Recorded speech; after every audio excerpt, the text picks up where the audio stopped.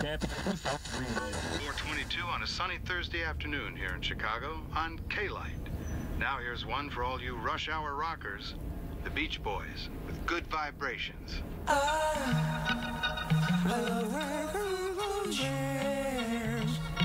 And the way the sunlight hangs